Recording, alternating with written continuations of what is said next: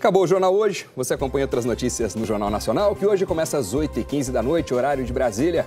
Uma boa tarde e até amanhã. Tchau. Uma ótima tarde para você. Amanhã a gente se vê.